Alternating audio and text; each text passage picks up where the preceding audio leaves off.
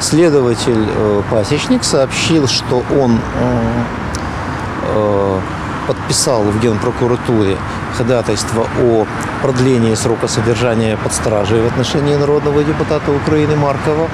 И э, что он это ходатайство планирует завтра утром э, передать в суд, в Печерский, для рассмотрения.